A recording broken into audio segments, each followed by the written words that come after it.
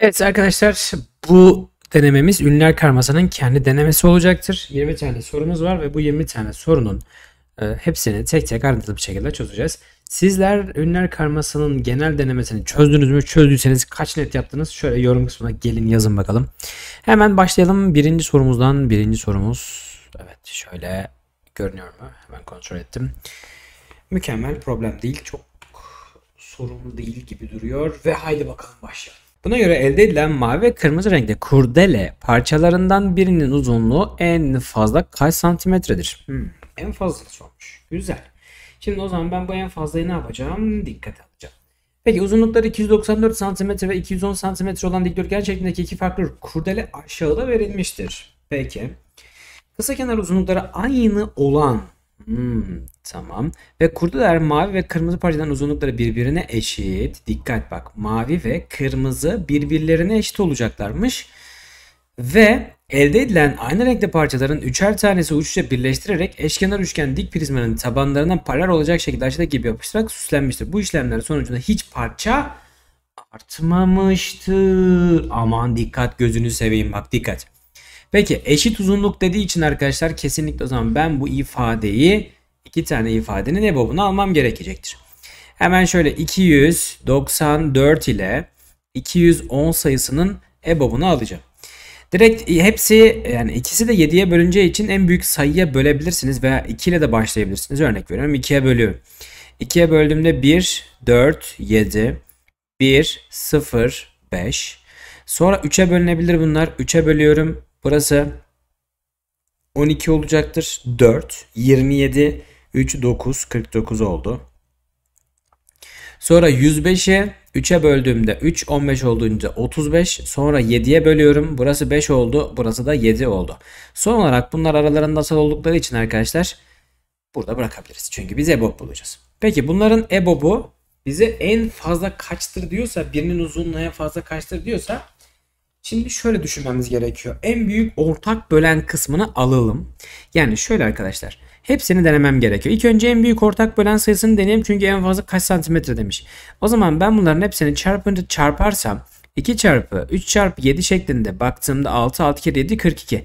Yani eğer 42 santimetre ise 42 santimetre ise benim sonucum ne olacaktır? 294'ü 42'ye bölersem 7 parça elde edeceğim. 210'u 42'ye bölersem 5 parça elde edeceğim. Ama arkadaşlar hiç parça artmayacağı için buradaki böldüğüm yani sayılarımı EBOB'uma böldüğümde kesinlikle 3'ün katı olması gerekecektir. Çünkü 3 parçaya bölüp üçgen elde ediyorum. Anlaştık mı? Yani o zaman benim en büyük bölenim olmayacaktır. Peki başka ne elde edebilirim? Ben hepsini çarptım bir de şöyle elde edebilirim. 3 ile 20 3 ile 7'yi çarpıp 21 olarak kabul edebilirim.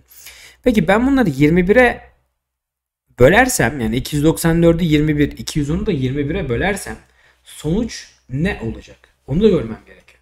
Eğer gerçekten de sonuçlar 3'e bölünebilirse problem yok. Mesela ben 210'u 21'e bölersem 10 elde edeceğim arkadaşlar. 294'ü 21'e bölersem 15 elde edeceğim arkadaşlar. Bu 3'e tam bölünüyor ama bu 3'e tam bölünmüyor. O yüzden ne yapacağım? Bunlar da değil diyeceğim. Yani 21'de olamaz. Peki başka hangi olasılığımız var? 7 çarpı 2'den 14. Peki 14'ü kabul edersem 14'ü kabul edersem ne olacaktır? Özür dilerim ben şu an 21 ile çarptım değil mi şurayı? Eğer 294'ü 21'e bölersem 14 kalıyor. Özür dilerim 14 olacak. 210'u 21'e bölersem 10 olacak. Tamam onu 14 olacak. 15 neden nereden geldi 15 falan demişim. Tamam bu 15 olmayacak 14 olacak arkadaşlar. Peki 21 de olmadı çünkü ikisi de 3'e bölünmüyor. Bunları aldım. Sonra bakıyorum. 7 ile 2'yi çarpıp 14 olarak aldığımda eğer 210'u ben 14'e bölersem 14 kısmına bölersem 210'u kaç çıkacak? Şimdi 210'u 14'e böldüğümde 15 elde edeceğim. Çünkü 15 çarpı 14 bana 200 210'u verecektir. Peki 294'ü 14'e bölsem kaç gelecektir? 21 gelecektir. O zaman benim alabileceğim sayı en fazla en çok olabilecek olan neymiş? 7 ile 2'yi çarparsam 14 şeklinde alabilirim. 14 olmadıysa mesela 3 ile 2'yi çarparsın. Olmadı mı? Sonra 2'yi denersin. Sonra 3'ü denersin. Sonra 7'yi denersin. Bu şekilde deneye deneye bulmamız gerekecekti. O yüzden cevabım bol olur. İkinci sorumuza bakalım. Buna göre yeşil renkli dikdörtgenin çevre uzunluğu santimetre cinsinden aşağıdakilerin hangisi olamaz? Şimdi buradaki yeşil dikdörtgeni bulacağız. Dikdörtgen şeklindeki bir kartonun kenarlarının uzunlukları santimetre cinsinden birer doğası olan 4 e, bölge aşağıdaki gibi ayrılmıştır. Bu işlem sonucunda 3'ü birbirine eş olan 4 dikdörtgen elde edilmiştir. Yani şuradaki maviler birbirlerine eş belli zaten. Elde edilen eş dikdörtgenler mavi ile gösterilmiş olup birinin alanı 24 santimetre kareymiş. Evet şuradaki mavinin şeklini çizdim arkadaşlar. Eğer 24 santimetre kare ise kare diyorsa e, arkadaşlar ben şunu bilebiliyor muyum? Yani kısa kenarın uzun kenarını bilmiyorum. O zaman kısa kenarımız x, uzun kenarımız ya x çarpı y bana buranın alanını verecektir. Aslında ben 24'ün bölenlerini bulsam 1'e 24, 2'ye 12, 3'e 8, 4'e 6, 5'e bölünmez. 6'ya zaten böldük. Şimdi durumumuz bu. 1'e 24 olabilir, 2'ye 12 olabilir, 3'e 8 olabilir, 4'e 6 olabilir. Şimdi deniyoruz. Diyoruz ki eğer kısa kenarımız 1 santimetre olursa uzun kenarımız kaç santimetre olacak? 24 santimetre olacaktır. E o zaman ben bakıyorum burası o zaman 24 santimetre olur. Burası 1 santimetre olduğu için burası da 1 santimetre. E tamam 24 olacağı için burası ne olacak? 23 santimetre olacak. O zaman burası 23 olur. Peki ben ne yapıyorum? Bunları topluyorum arkadaşlar. Şunları topluyorum. 20, 40, 44, 47 yapar. 47 ile de 2'yi çarparsam 14, 1, 80, 94 olarak alabilirim. Şimdi peki 94 bulduk. Şıklarda zaten 94'ümüz yok arkadaşlar. Hemen hop eledim. Sonra diyorum ki 1 vermiştim. Bu sefer diyorum ki 2 vereyim. Yani burası 2 olsun. O zaman buraya ne kalacaktır? 2 çarpı 12'den 24 yapacağı için burası da arkadaşlar 12 olacaktır. Peki burası 12 santimetre. Şu kenarımız. Bir de bu kenarımıza bakmak istiyorum. Burası 2 ise 12 e, olacağı için tamam yani uzun kenarımız 12 olacağı için direkt burası 10 olur. Yani burası 10'a 12 olacaktır. Peki 10 ile 12'yi toplar isem 22 yapacaktır. Bunu bir de 2 ile çarpmam gerekecek. Çevre hesaplıyorum çünkü. Buradan 44 olur. Yani bu elde edilir. Zaten 92 olmayacağı çok kesin belli de yine diğerlerine bakacağız arkadaşlar. Mesela 3'e 8 deniyorum. 3'e 8. Burası zaten uzun kenarımız ne olacaktır? 8 cm. 8'den 3 çıkarırsam 5 olacaktır. 8 5 daha 12 yapacaktır. Pardon. 13 yapacaktır. E 13'ü de 2 ile çarparsan 26 yapacaktır. Gitti olur. Peki diğer olasılığı hesaplıyorum hemen. Yani 4 olabilirse ne olacaktır?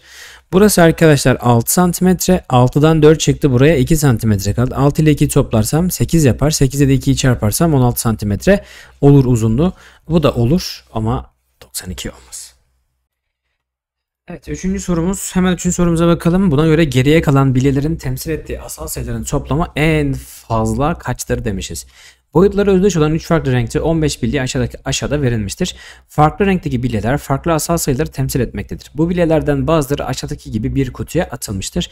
Kutuya atılan bilyelerin temsil ettiği asal sayıların çarpımı 120'dir demişiz. Hmm, tamam. Şimdi arkadaşlar burada temsil ettiğimiz asal sayıların çarpımının 120 olduğunu her bir bilyenin asal olduğu söylenilmiş. Asal, bu da aynı asal, aynı asal. Bu da asal, farklı asal, farklı asal.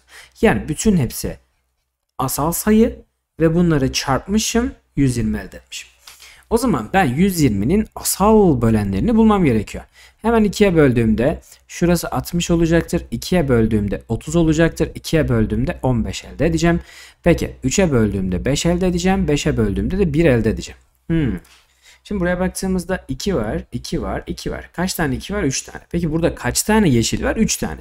O zaman ben diyeceğim ki he, yeşilimin her biri 2 olacaktır diyeceğim.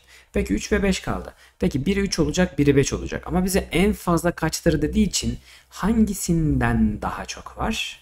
Evet, mesela diyelim ki bundan daha çok var. O zaman bunun 5 olması benim için daha fazla toplam sayı elde ettirecek. O yüzden ben maviye 5 diyorum, kırmızıya da 3 diyorum. Peki arkadaşlar kullandıklarımızı hemen silelim. 1, 2, 3 tane yeşil kullanmışız. 1, 2, 3 tane yeşil attık. Bir tane mavi bir tane kırmızı kullandık. Bir tane kırmızı bir tane mavi attık. Peki bakıyorum kaç tane yeşilden kaldı? 1, 2, 3 ve 4 tane. Hemen yeşili çarpıyorum. 4 çarpı 2'den 8 elde ettim. Peki kırmızıdan kaç tane var? 2 tane var. 2 çarpı 3'ten 6 elde ettim. 5'ten yani maviden kaç tane var? 1, 2, 3, 4 tane var. 4 çarpı 5'ten de 20'yi elde ettim. Peki bunları topladığımda 20, 28, 30, 34 yapıyor. Cevabım o zaman C olur. Şimdi dördüncü sorumuzdayız ve dördüncü sorumuz için yorum yapmaya başlıyoruz. Birazcık kaydırım aşağı. Baktığımda kiraz ağaçlarının kalınlığı ihmal edildiğine göre bu yolda bulunan ağaçlardaki toplam kiraz sayısı kaçtır? 16 üzeri 6 metre uzunluğundaki doğrusal bir yolun iki kenarına eşit aralıklarla dikilmiş kiraz ağaçları aşağıda gösterilmiştir. Kiraz ağaçları arasındaki mesafe 64 metre olup burayı santimetre olmuş ama burası metre olacak.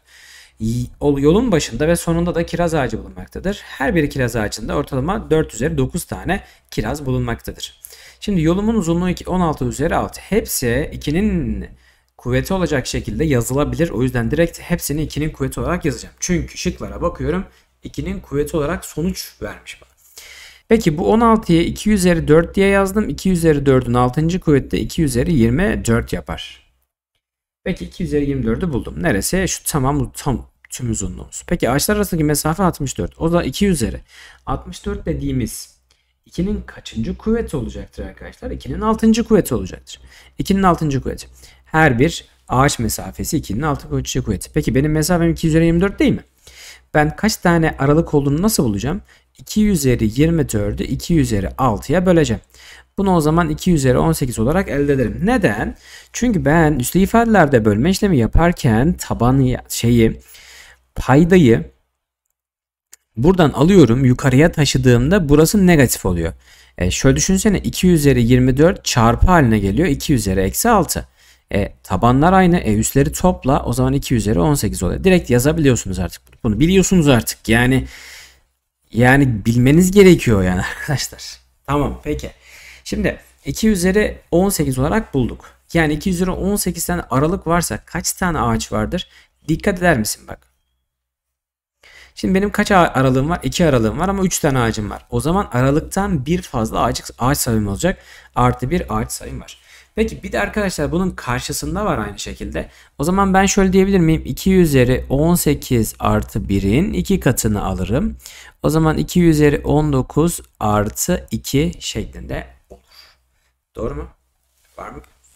Var mı problem? Yok. Peki arkadaşlar buradaki zaten 2 üzeri 19 artı 2 dediğimiz olay şey değil mi? 2 üzeri 20 zaten. Bir de 4 üzeri 9 tane kiraz bulunmaktadır diyor. 4 üzeri 9 tane. Burada şuna dikkat etmemiz gerekiyor. Özür dilerim. Bu çarpma işlemi olsaydı eğer olurdu ama toplama işlemi olduğu için bunu çarpamıyoruz. Bunu bu şekilde bıraktık. E 4 üzeri 9 dediğimiz 2 üzeri 3, 2 üzeri 18 elde edebilirim. Şimdi ben bu 2 üzeri 18'i içeriye dağıtayım arkadaşlar. 2 üzeri 18 ile 2 üzeri 19'u yani 2 üzeri 18 2 üzeri 19 ikisini çarparsam üstler aynı. Pardon altlar aynı üstler aynı. Üstler farklı altlar aynı olduğu için üstleri toplamam gerekecektir. Buradan 37 elde edebiliyorum. Doğru mu? Doğru. 2 üzeri 37. Şimdi hemen şuraya yazayım. 2 üzeri 37'mi elde ettim. Artı 2 üzeri 8 ile 2 üzeri 1'i çarparsam 2 üzeri 19 elde edebilirim. O zaman cevabı da Denizli diyebilirim. Şimdi 5. sorumuz bizden ne istiyor bakalım. Buna göre bu gruptaki öğrencilerden kaç tanesi basketbol antrenmanına katılacaktır demişiz. Bir onalık gösterimi basamak değerleri toplama şeklinde yazılmasına onalık gösterimi çözümlenmesi denir. Bilgilerimiz var. Boy 135 santimetreden kısa olan bu gruptaki öğrenciler ile beden eğitimi dersinde basketbol antrenmanı yapılacaktır. Bakın dikkat eder misiniz lütfen? Genelde soru kökünde, soru kısmında bak katılmaya katılacaktır diyor. 130 135 santimetre kısa olan. Şimdi bak şöyle düşünüyorsun. 130 metre 135 metre ya. Sen diyorsun ki he ulan basket oynuyorlar o zaman bundan uzun olması gerekiyor şeklinde düşünüyorsun. Okuyorsun ama yine kendi yorumunu katarak burada hata yapma ihtimali olabiliyor. Sonra uzun olanları seçiyorsun ve hata yapıyorsun. Hayır. Bak kısa olan bu gruptaki öğrenciler ile beden eğitimi dersinde basketbol antrenmanı yapılacaktır diyor. Kısa olanları seçeceğiz. Aman dikkat. Peki bakıyorum Ahmet'in boycuğuna bakalım Ahmet'in. Şimdi arkadaşlar benim taktiğim şudur. Virgülümü koyarım. Sonra derim ki bu eksi 2'de kapattığı için virgülün sağ tarafı 2 basamaktır. 1, 2 basamağımı koyarım.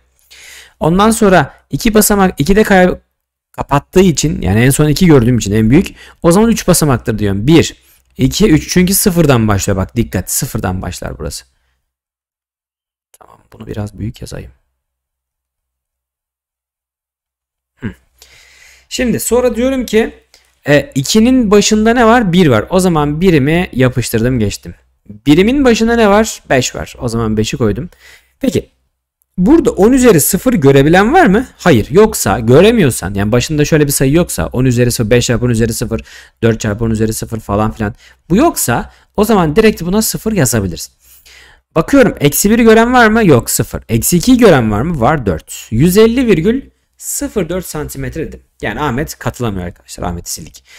Peki diğer kısma geliyorum. Yine virgülümü koydum. Eksi 2'de kapattığı için yine 2 basamak dedim. Bakıyorum 2'de kapattığı için 3 basamak. 1, 2, 3 basamak dedim. O zaman dolduruyorum. Diyorum ki e, şurası hemen 1, 1 de başladık. 6 ve 2'yi koydum. Şunlar var dikkat ediyorsunuz. E, eksi 1 olmadığı için 0,7. 162,07 bu da katılamıyor.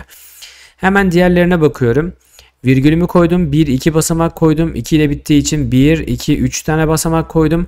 Bakıyorum 1, 3, 8, 138 zaten. Direkt diğerlerini yapmamıza gerek yok. Cengiz kesinlikle katılıyor. Buraya baktığımızda arkadaşlar yine virgülümü koydum. Ee, yine iki basamağımı koydum. Bu sefer iki basamağımı sola doğru koyacağım. Çünkü bir basamakta bitmiş. 10 üzeri 1 demiş. Buraya o zaman 9'u koydum. 8'i koydum. 98 dediği için zaten bu da benimle yarışacaktır. Bu da antrenmana katılacaktır. 135'ten küçük olduğu için.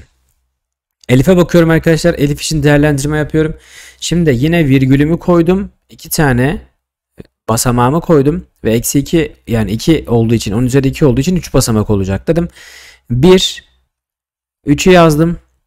7'yi yazmıyorum çünkü 7'yi buraya yazacağım. Ama 10 üzeri 0 olmadığı için 0'ı koymam gerekiyor. 5'i de yazdım. 130,75. 135'ten küçük mü? Küçük. Elif de aldım. Şimdi Ferit'e bakıyoruz arkadaşlar. Virgülü koydum. 1, 2 basamağı koydum. Sonra 2'de kapattığı için 2 üstü olduğu için onun üzeri 3 tane basamak koydum. 1, 2, 5, 0, 8 şeklinde yazdım. Bu da zaten olacaktır. Cevap 4 olur. Buna göre Derya'nın elde edebileceği değerlerin birbirinin oranı en fazla kaçtır? Birbirine eş dilimlerden oluşan çarklar aşağıda gösterilmiştir. Burada üstü ifadelerle ilgili bilgiler var. Eğer konularla ilgili problem yaşıyorsunuz buradan tekrar edebilirsiniz arkadaşlar. Bunları kullanacağız peki. Yukarıda verilen çarkların her birini birer kez çeviren Derya okun üzerine geldiği daire dilimlerinde yazan üslü ifadeleri birbiriyle çarpacaktır. Şimdi buna göre değerlerin elde edebileceği değerlerin birbirine oranı en fazla kaçtır? Peki arkadaşlar birinci çark ve ikinci çark. Şimdi bu ikinci çark kısmına dikkat edeceğiz. Birinci ve ikinci çark kısımlarında en büyük üslü ifade sayılarını alacağız. Yani en büyük sayıları alacağız. Mesela birinci çarktaki en büyük sayım bu. ikinci çarktaki en büyük sayım bu. Bu büyük sayıları aldım ve birbirleriyle çarpıyorum. Şimdi 32 üzeri 3'ün 2 üzeri 5'in 3. kuvveti olduğunu söyleyebilirim. Çünkü 2 üzeri 5 32'dir arkadaşlar. 2 üzeri 5'in 3. kuvveti o da 2 üzeri 15 olacaktır. Peki 16'nın 2 üzeri 4 olduğunu biliyorum. Bunu da 2 üzeri 4'ün ikinci kuvveti olarak yazabilirim. Bu da 2 üzeri 8 olacaktır. Peki. Ben bunları çarpıyorum arkadaşlar. 2 üzeri 15 ile 2 üzeri 8'i çarptım. Buradan ne olacaktır? 2 üzeri 22 mi olacaktır? 2 üzeri 23 olacaktır. Evet bunları topladığımda 2 üzeri 23 elde ettim. Mükemmel. Şimdi bu benim en büyük sayım tamam mı? Elde ettiğim büyük sayım. Bir de küçük sayımı elde edeceğim ve onu oranlayacağım. Haydi bir de küçük sayımızı elde edelim. Bak şimdi burada 16 üzeri eksi 4 8 üzeri eksi 2. Yani negatif kuvvetin en küçük olduğu durumu seçmem gerekiyor ki oranladığımda yukarıya çıkarttığımda artı hale dönüşsün. Çünkü en fazlasını soruyor bana. Peki 16 üzeri eksi 4. Hmm. 16 2'nin 4. kuvveti. O zaman diyorum ki 2'nin 4. kuvvetinin eksi 4. kuvveti. Üssün üstünü almam gerekiyor. O da 2 üzeri eksi 16 yapacaktır. Çarpı 2 üzeri 3'ün eksi ikinci kuvveti o da 2 üzeri eksi 6 yapacaktır. Bununla bunu çarptığımda 2 üzeri 23 olacaktır. Eksi pardon 22 olacaktır.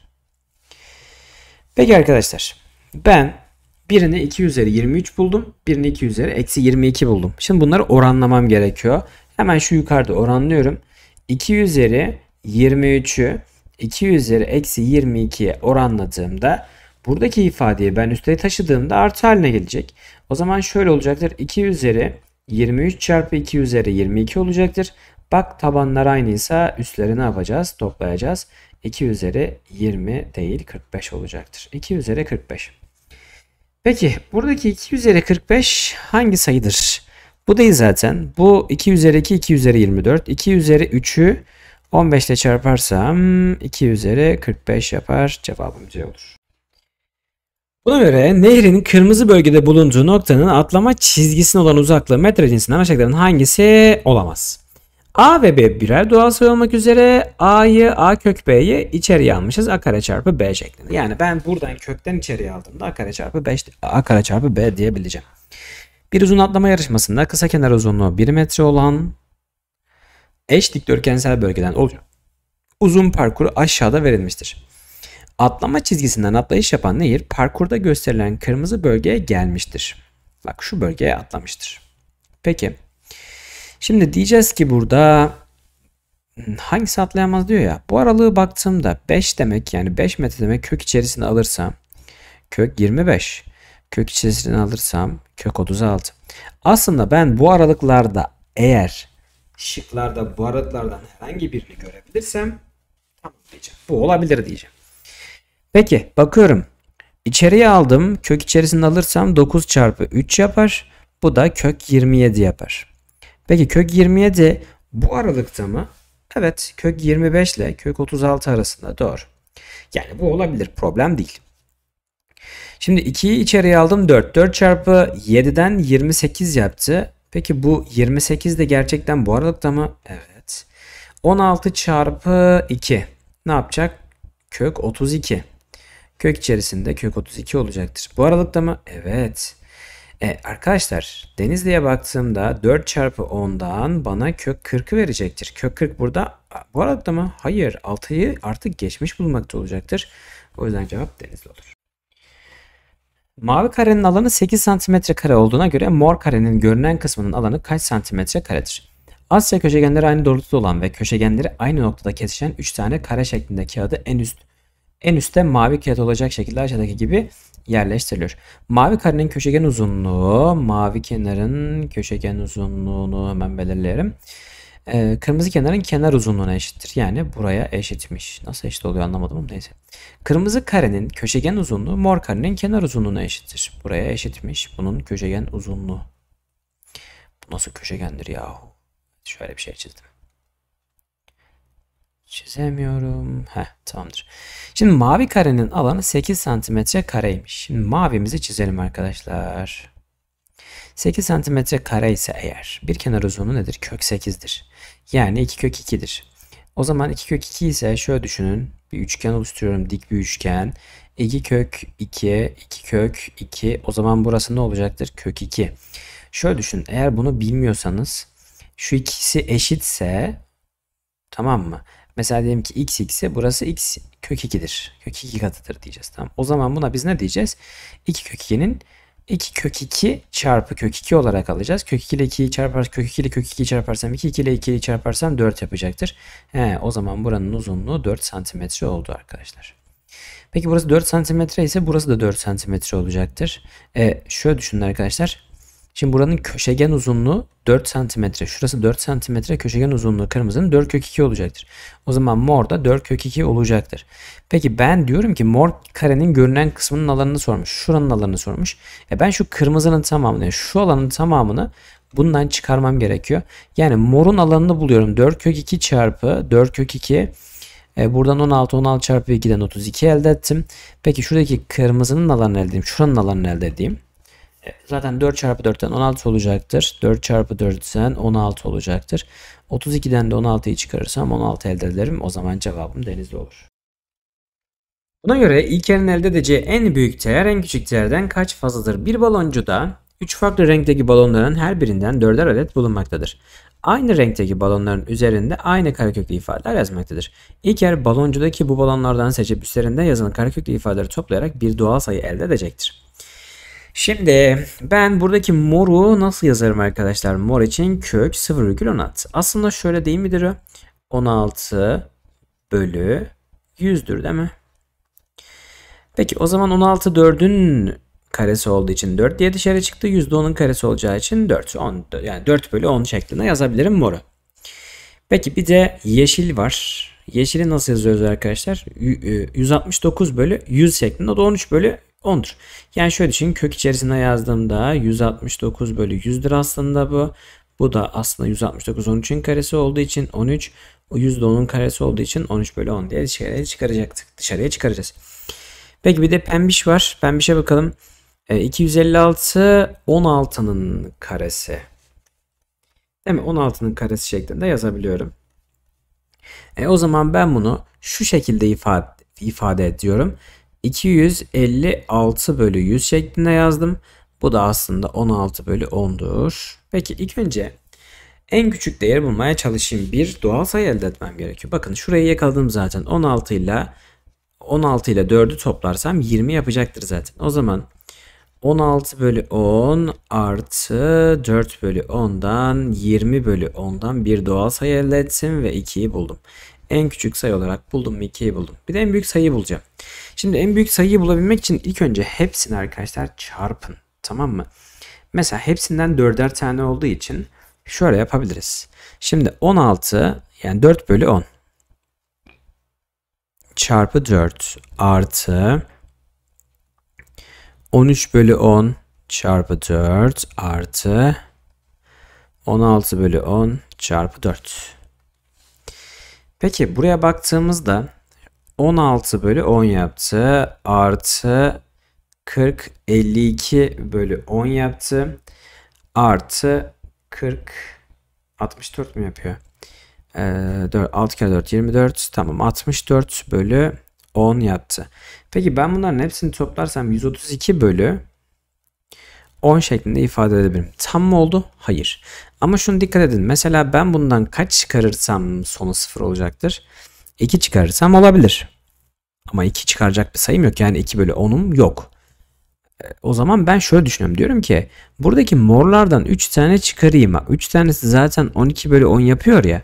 O zaman diyorum ki 132 bölü 10'dan ben direkt 12 bölü 10'u çıkarırsam buradan 120 bölü 10 olur. O da 12'yi verir. Ha, en büyük de o zaman 12 olacak diyeceğim. E tamam arkadaşlar en küçük 2 en büyük 12. E ben diyorum ki farkını aldığımda buradan da 10 elde edebiliyorum. Cevabım denizli olur. Buna göre kaldırım taşının rampa ile bitişik uç noktası ile engelli rampasının uç noktası arasındaki en kısa mesafe santimetre cinsinden aşağıdakilerin hangisi olamaz? Şurayı sormuş arkadaşlar. Eğim dikey uzunluğun yatay uzunluğu oranıdır. Bir belediye kaldırımın bittiği yere aşağıdaki gibi engelli rampası yapmayı planlamaktadır.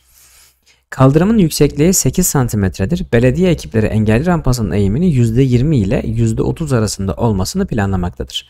Şimdi buranın uzunluğunu zaten vermiş. 8 santimetre olarak verilmiş arkadaşlar. 8 santimetremi yazdım. Benim eğimim nedir? Yükseklik bölü yatay uzunluktur. O zaman yüksekliğimiz yani dikey uzunluğumuz nedir? 8'dir. Yatay uzunluğumuz nedir? X'tir. Ne yapıyorum? En fazla o zaman %20 yani 20 ile şöyle diyeyim %20'sini alayım ilk önce. Eğimin 2'ye böldüm. Şöyle bunu 2'ye bölersem burası 4. O zaman içler ve dışlar çarpımı yaparsam x'in 40 olduğunu biliyorum. Ama 40'a eşit değil değil mi? x 40'tan küçük olması gerekiyor. Peki x'in 40'tan küçük olduğunu söyleyebiliriz. Peki %30 arası diyor bir de. Yani 8 bölü x'in %30'u kısmını alıyorum. %30'u oranlıyorum. Böldüm böldüm. Buradan e, 80 eşittir 3x oldu. E, buradan da her iki tarafı 3'e bölersem x'in 26,6 küsuratlarda gidecektir. Yani şöyle diyebiliriz. 26,6 küçüktür x küçüktür 40 şeklinde bir oran bir eşitsizlik kurabilirim.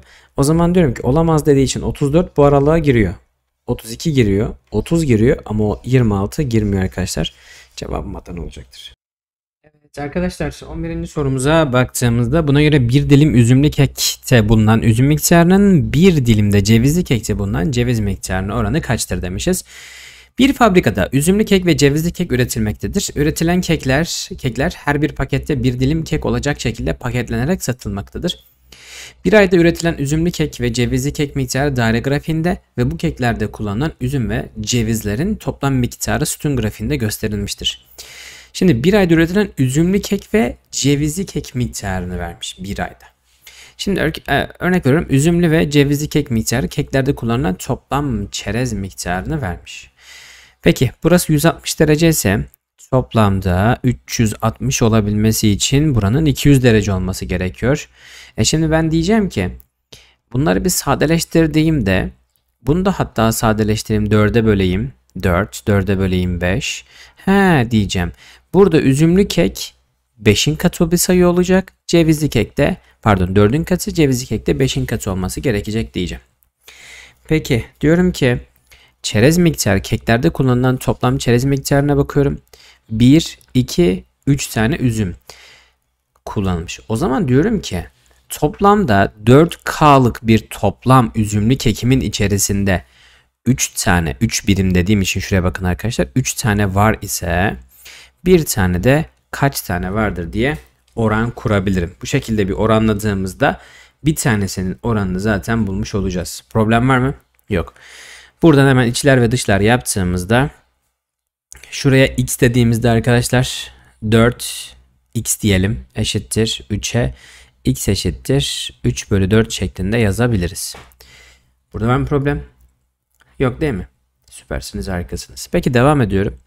Bir deneyi bulacağım. Buradaki cevizli kek kısmını bulacağım arkadaşlar. O zaman diyorum ki 5K 1, 2, 3, 4, 5, 6'ya eşitse 1 kaça eşittir? Hemen çarpıyorum. 5K eşittir 6. K eşittir 6 bölü 5. Hatta buraya x de diyebiliriz. Problem değil. x eşittir 6 bölü 5. Yani burada bir tanesinin içerisinde bulunan miktarı buldum. E bana diyor ki buradaki üzümlü kek kullanılan üzüm miktarı o 3 bölü 4'tü. Peki. Dilimli cevizli kekte bulunan ceviz miktarına oranı söylemiş. 6 bölü 5. Şimdi bunu ters çevirip çarpmam lazım. Bunu 3'e böldüm. 1. Bunu 3'e böldüm. 2. 1 ile 5 çarpsın 5. 5 bölü 8. Cevabım 5 bölü 8 olacaktır. Yani C'yi işaretleyebilirim. İşaretlen C. Heh, süper. Evet arkadaşlar 12. sorumuz gelmiş bulunmakta. Buna göre n kaçtır demişiz. Şimdi burada olma olasılığı ile ilgili yani olasılıkla ilgili verilen bilgiler var. Demek ki bunu kullanacağız. Üzerinde birden n'e kadar olan sayma sayılarının yazılı olduğu kartlar aşağıda verilmiştir. Bu kartlar arasından rastgele seçilen bir kartın üzerinde yazan sayının 3 farklı doğal sayı çarpanı olma durumu dikkat. 3 farklı doğal sayı çarpanı olma durumu sayısı 3. Yani 3 tane varmış. Bu kartlar arasından rastgele seçilen bir kartın üzerinde asal sayı yazma olasılığı %30'dur demişiz. %30 demek nedir aslında? Mesela 30 bölü 100 şeklinde yazdım. E, sıfırları götürürsem aslında 3 bölü 10'u yakalamam gerekecektir. Hedefim 3 bölü 10 olacaktır. Şimdi arkadaşlar ben 3 farklı doğal sayı çarpanı olması dediği şu aslında. Mesela ben 4 sayısını incelediğimde 4 sayısı nedir? 1'e 4'tür, 2'ye 2'dir. Ama ben 2'yi bir kere saydığım için dikkat eder misin? 3 tane. Zaten burada şuna dikkat etmemiz gerekiyor. Herhangi bir tam kare sayının tek sayıda doğal çarpanı vardır. Çünkü kendisini iki kere çarpıyoruz onu bir kere alıyoruz. Ama burada 3 farklı doğal sayı çarpanı dediği için yine tam kare sayıları düşünmemiz gerekiyor. Ama 3 farklı doğal sayı çarpanı olması gerekiyor bu n kısmında. Peki 4 olabilir. E, 16 olabilir mi? Hayır. 4'ün karesini alabilirim. Peki arkadaşlar başka düşündüğümüzde 9 olur. Mesela ben 9'u şu şekilde yazabilirim. 1'e 9, 3'e 3 şeklinde yazabilirim. Burada da 3 tane var. Farklı da 3 tane doğal çarpan var. Doğal sayı çarpanı var. Problem değil. Peki 4 olabilir. 9 olabilir. 25 olabilir mi? 9 olabilir. 16 olmuyor. 3 taneden fazla var. 10 tam 25 yapıyor arkadaşlar. Bir tane bir de 25 var. 25'e aldığında 1'e 25. 5'e 5 dediğimde buradaki yine 5'i sildiğimde burada 2 tane ve burada da 5'i alarak 3 tane olduğunu bulabiliyorum. Tamam. O zaman arkadaşlar benim demem şudur. Birden n'e kadar kısmına baktığımızda son kısım 25 ile bitiyor. Hocam niye 49 almıyoruz? 49 da oluyor.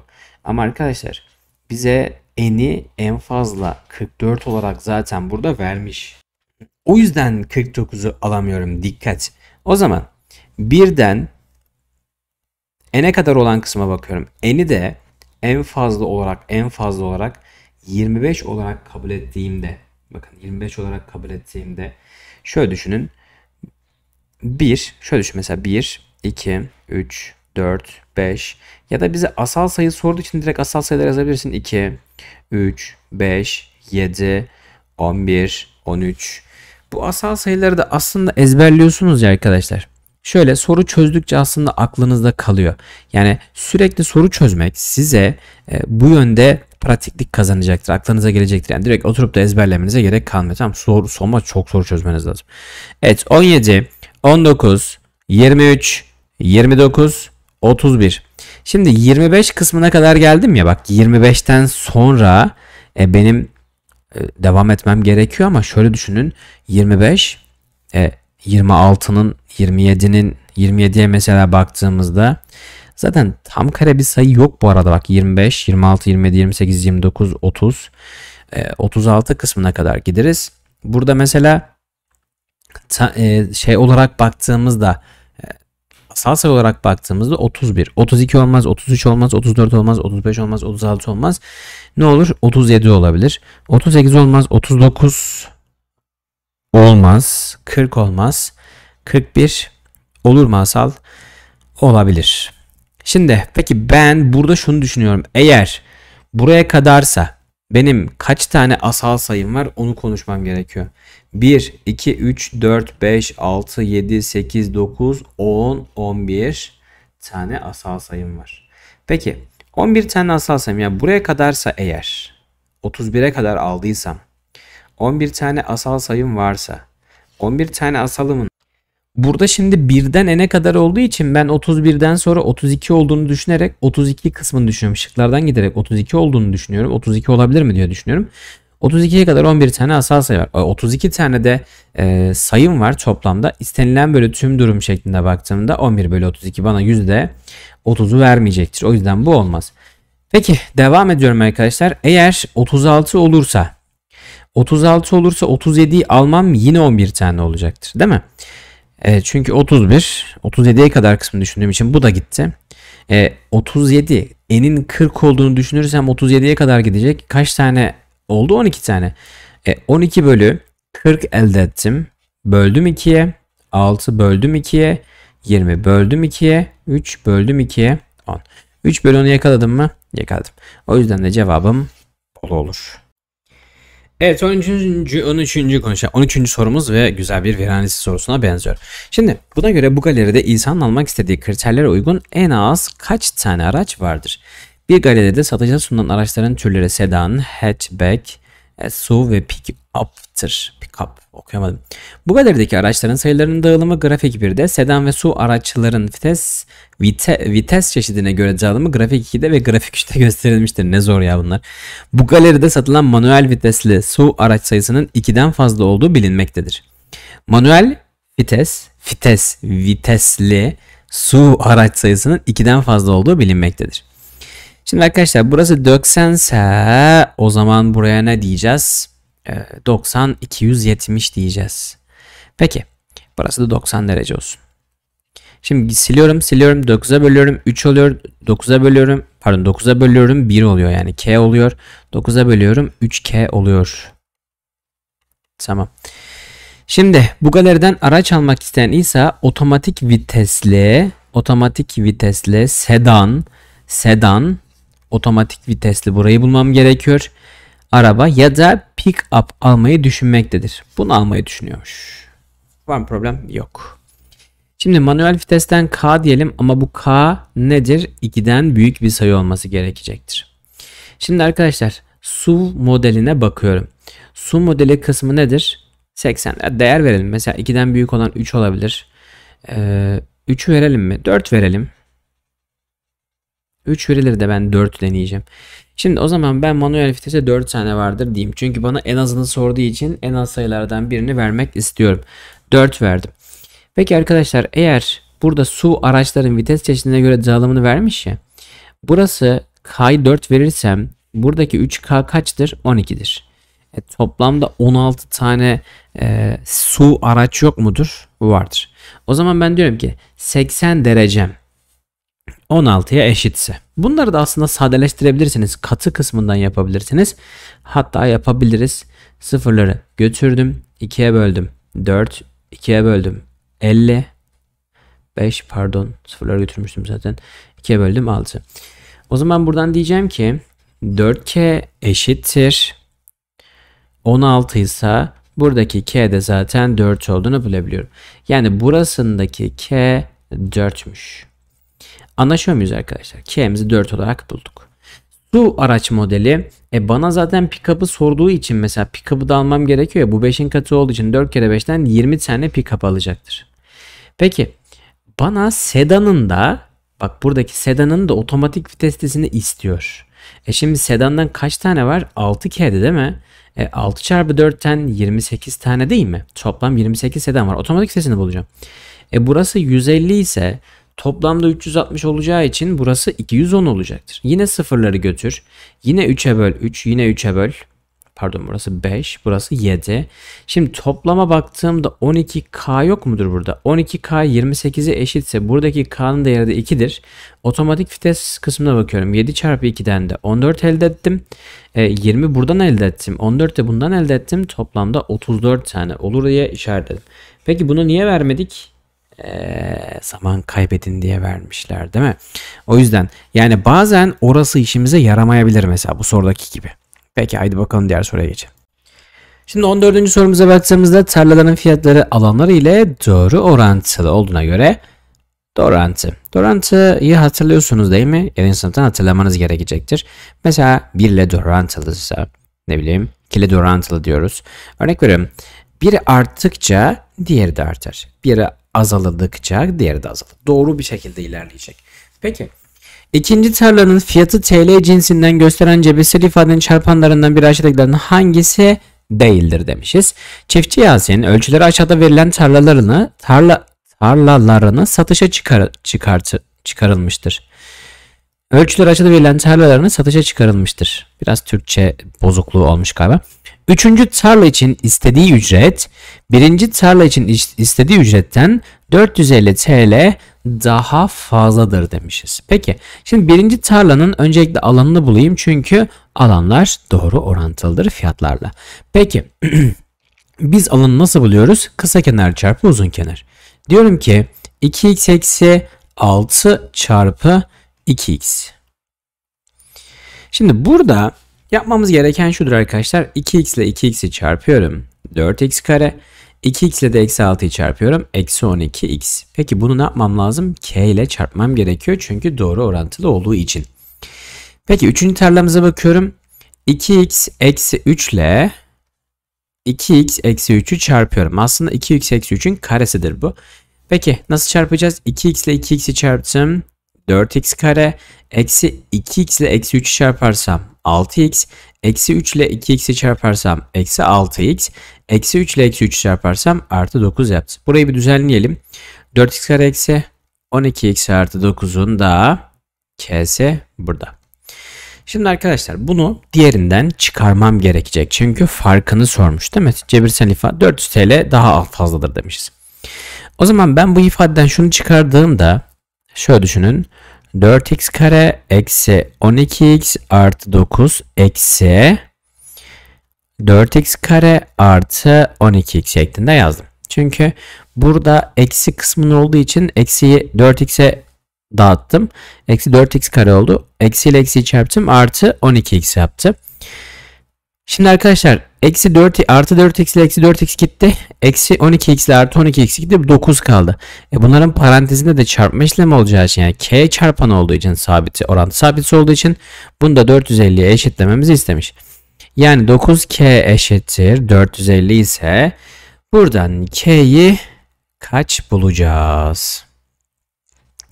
Evet k eşittir 9 kere 5'ten 45 olacağı için arkadaşlar k'miz 5. Peki bu 5 benim ne işime yarayacak? Bakın nasıl ne işimize yarayacak? Kör bak burada.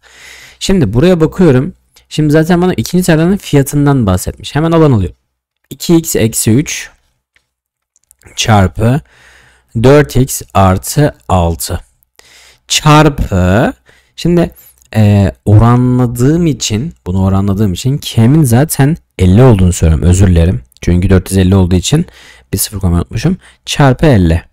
Tamam mı? Var mı sıkıntı? Yok. Şimdi 2x eksi 3 olarak çarpanı var mı? Bunun 2x eksi 3 çarpanı var. 4x artı 6 yok. Fakat ben bunu iki parantezine alırsam ne olacaktır? Bu 2x artı 3 çarpanı olacaktır. Okey. O zaman 2x artı 3 de olabilir. Peki bu 25'i bulabilir miyiz ya? 4x eksi 3'ü bulabilir miyiz? 25'i ben şuradan bulabilirim aslında. 2 çarpı 25 şeklinde yapabilirim. Ve bu da bunun çarpanıdır. E, 25 de olabilir ama bolu olamaz. Buna göre Ayşegül'ün arkadaşının evi kaç farklı katta yer alabilir? 25 katlı gökdelende bulunan asansördeki kat numaraları aşağıda gösterilmiştir. Bu gökdelende oturan arkadaşını ziyarete gelen Ayşegül, arkadaşının oturduğu katın numarasının asal sayı olduğunu hatırlamakta ama hangi kat olduğunu hatırlamamaktadır. O zaman benim için nedir? Asal sayıları bulmak benim işimi gö görecektir. 2 bir asal sayıdır. 3 bir asal sayıdır. 5 bir asal sayıdır. Asal sayı sadece 2'ye ve 5'e böl 2'ye ve 5'e 2'ye ve yani 1'e ve kendisine bölünebilen sayı 2'de kaldık ya. Mesela 2 sayısı ne var? 1'e ve kendisine bölünebilir. 3 1'e ve kendisine bölünebilir. O yüzden 1'e ve kendisine bölünen tüm sayılar asal sayılardır. Peki 7 olabilir. 2, 3, 5, 7. 8 olmaz, 9 olmaz, 10 olmaz, 11 olur, 11 olur, 12 olmaz, 13 olur, 14 olmaz, 15 olmaz, 16 olmaz. Neden? 2'ye bölünebiliyor. 17 olabilir, 19 olabilir ve 23 olabilir arkadaşlar. Kaç tane var? 1, 2, 3, 4, 5, 6, 7, 8, 9 tane vardır. Cevabım C olur. Buna göre bu rafalardan birinin uzunluğunu santimetre cinsine veren cebirsel ifade aşağıdakilerden hangisidir? Bir market rafına özdeş 4 teneke zeytinyağı aşağıdaki gibi aralarında eşit mesafe olacak biçimde aynı doğrultuda yerleştirilmiştir. Raflarda bulunan zeytinyağı tenekelerinden baştaki ve sondaki tenekelerin dikdörtgen yüzeyleriyle raflar arasında boşluk bulunmamaktadır. Kare dik prizma şeklinde dikkat. Tenekelerin dikdörtgen şeklindeki yüzeylerinden birinin alanı yani şundan bahsediyor arkadaşlar dikkat. Şuradakinden bahsediyor. E, birinin alanı e, x kare eksi 25 santimetre karedir. Şimdi x kare eksi 25 zaten nedir? 2 kare farkıdır değil mi? Yani x eksi 5'in ve x artı 5'in çarpımı ile oluşan bir özdeşlik oluyor. E peki ben bu özdeşliği yakaladıysam e benim uzun kenarım x artı 5 ise kısa kenarım x eksi 5 olur. Mükemmel. Peki demiş ki zaten buna grafların birinin uzunluğu şu uzunluğun tamamını istemiş diye birsel ifade olarak. E o zaman burası da x eksi 5. O zaman burası da x eksi 5. O zaman burası da x eksi 5. Bir x'leri x'leri sayalım arkadaşlar. 1, 2, 3, 4, 5, 6, 7, 8 tane. Yanlış mı saydım? Bunu bir kere daha mı saydım? 1, 2, 3, 4, 5, 6, 7. Evet iki kere saymışım. 7 x'im var. Şimdi eksi 5, eksi 7, eksi 5, eksi 7. E, eksi 7 buradan. Eksi 7 buradan. Eksi 7 buradan. 7, 14, 21. Eksi 5 de buradan geldi. 26. Yani eksi 26 olur. 7x eksi 26 ile Adana'yı işaretlersin. Buna göre ABCD dikdörtgeninde AB kenarının uzunluğu en az kaç santimetredir? AB uzunluğun, AB kenar uzunluğu. Yani arkadaşlar bize sorulan yer neresi biliyor musunuz? Buranın uzunluğu isteniliyor. Şimdi eğimle ilgili burada bilgi var. Demek ki eğimi kullanacağız. Peki kısa kenar uzunluğu 24 santim olan dikdörtgen e, aşağıdaki dikdörtgenin tabanındaki köşe noktalarından karşı kenar üzerindeki bir noktaya eğimi %75 olan iki farklı doğru parçası çizilmiştir. Şimdi eğimin ben dikeyin yataya olan uzaklığını biliyorum. Değil mi? Dikey bölü yatay.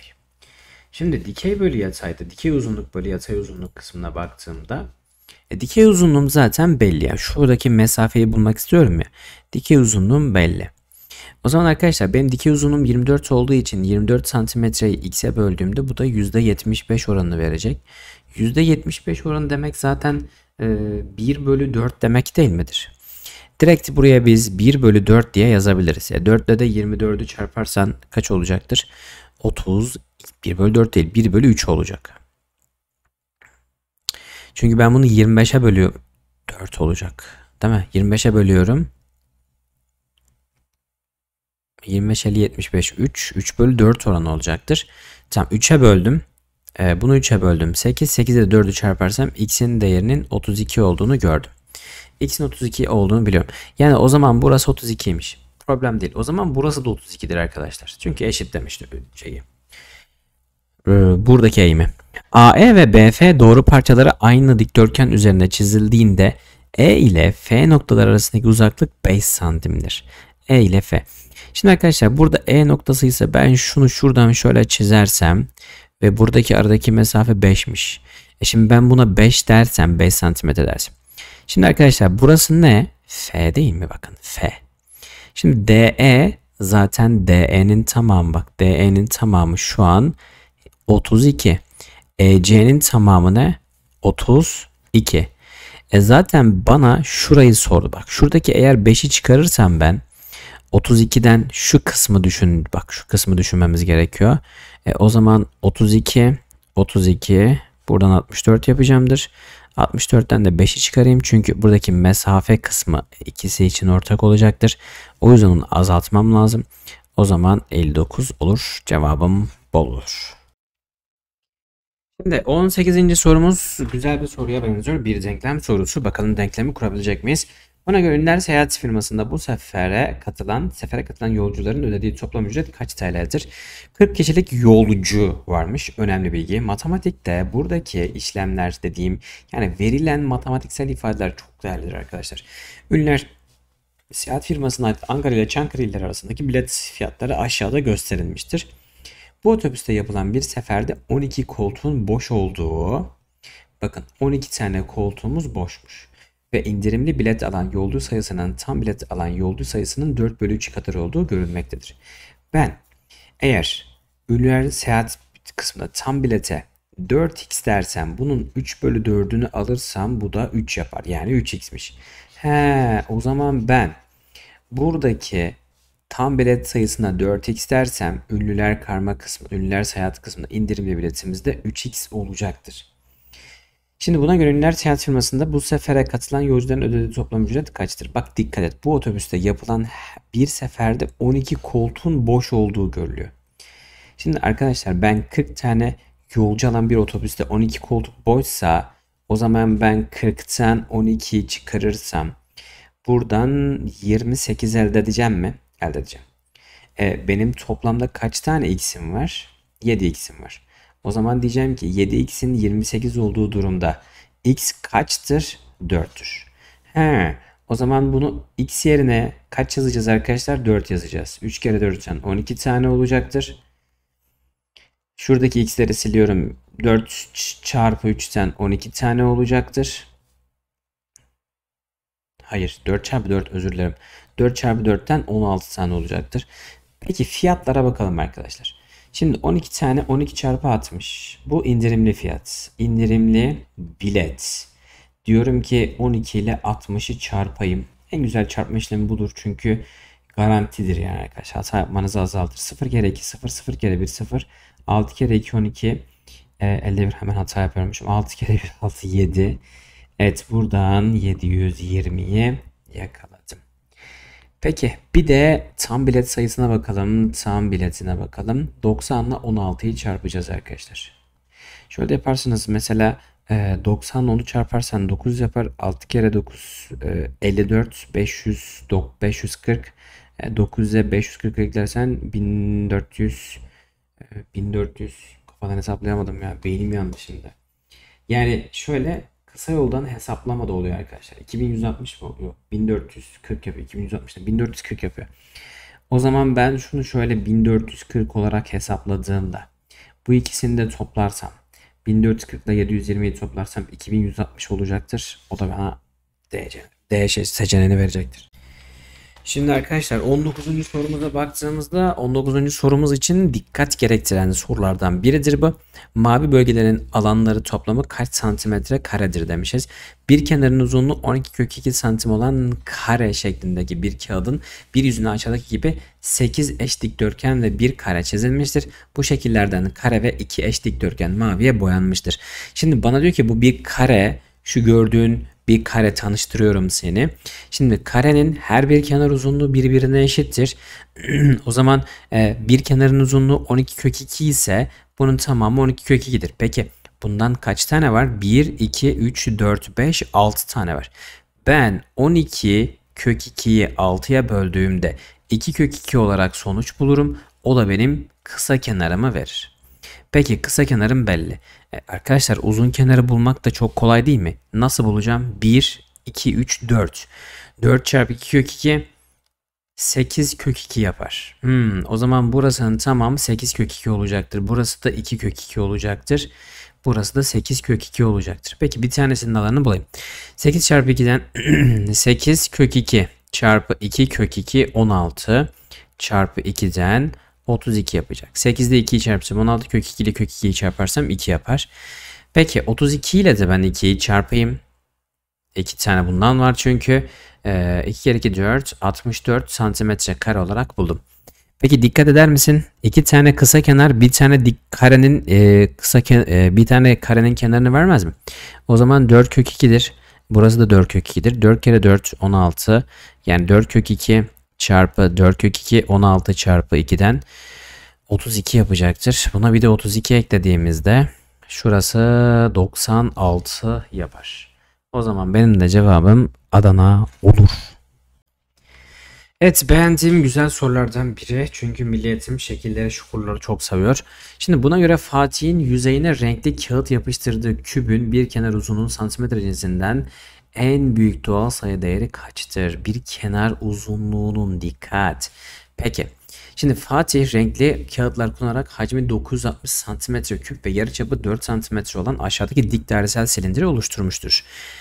Daha sonra dik dairesel silindir yapmaktan vazgeçen Fatih dik dairesel silindiri aşarak elde ettiği dikdörtgeni makas yardımıyla kesip aşağıdaki küpün tüm yüzeylerine yapıştırmıştır. Peki Şimdi arkadaşlar ben o zaman şunu yapıyorum. Diyorum ki bu küpü açtığımda öncelikle ben küpün alanını bulmam gerekiyor. Değil mi? Alanını bulmam gerekiyor. Zaten alanını burada adam vermiş. Demiş ki kullanarak hacmini vermiş. Özür dilerim. Hacmini vermiş. Peki ben hacmi nasıl buluyorum arkadaşlar? Pi çarpı r kare çarpı h. Bak hacmi bak hacmin altını çiziyorum. Dikkat. Pi çarpı r kare çarpı h bularak zaten bana şuradaki uzunluğu verecek. Bak şuradaki uzunluğu. Dikkat bunu buldurmaya çalışacak. O da zaten buraya eşit olacaktır. Dikkat. Altıncı diyorum bak dikkat. Peki o zaman ben buradan bulayım. 3 çarpı R'miz 4'tü. 4'ün karesini aldım. 16. H eşittir 960. Şu 16 ile 3'ü çarparsam 48 çarpı H eşittir 960. Her iki tarafı 48'e böldüğümde x h'ın buradan 20 olduğunu görebiliyorum. Peki h dediğim yani şurası 20 santimetreymiş. Peki arkadaşlar o zaman burası da 20 santimetredir. Çevreyi e, dairenin yani şuradaki şuranın ben çevresini bulursam buranın uzun kenarında bulmuş olacağım. Peki çevre nasıl bulunuyor? 2 çarpı pi çarpı r'den çevre bulunuyor. 2 çarpı 3 çarpı 4 2 3 6 6 kere 4'ten 24 santimetrede çevreymiş. E, çevre dediğimiz zaten buranın bir uzun kenarını verecektir. 24 santimetredir. O zaman ben buranın bir alanını alayım. 20 çarpı 24 kısmını yaptığımda alan kısmını buluyorum. Çünkü bunu keseceğim. 20 çarpı 24 e, kaç yapıyor? 480 e, mi yapıyor? 2 çarpı 24 48 yapar. Sıfırı koydum. 40, 480 santimetre kare elde ettim. Arkadaşlar ben bu elimdeki 480 santimetre kareyi ne yapacağım? Küp dediği için küp demek 6 eşit parçaya bölünen şu yüzeylerden demek. O zaman ben 480'i direkt 6'ya bölüyorum. 6'ya böldüğümde 80 santimetre olarak geliyor. Her biri 80 santimetre kare. Fakat alan olarak bulduğumuzda fakat bunlar arkadaşlar bana bir kenar uzunluğunun doğal sayı olduğunu söylemiş. Çünkü kenar uzunluğu santimetre cinsinden doğal sayı. Eğer ben bunu 80 santimetre kare alırsam buranın bir kenar uzunluğu kök, kök 80 olacaktır. O yüzden bu doğal sayı değildir. Doğal sayı olabilmesi için bunun bir düşünü 80 santimetre değil de 64 santimetreyi almam gerekiyor. Burası 64 santimetre olması gerekecektir. 64'ü de karesini alırsam 8 olacaktır. O zaman cevabım C olur. Ve 20. sorumuzu bitirmiş bulunmakta oluruz. Arkadaşlar kendinize iyi bakın. E, kampımızın devamı gelecektir. Çok yoğunum şu aralar. LGS son an son dilimlerinde olduğu için e, işte rehberlik yapıyoruz, koçluk yapıyoruz, özel dersler, okul çok yoğun geçtiği için ama yetiştireceğim merak etmeyin. Kendinize iyi bakın. O liseler kazanılacak.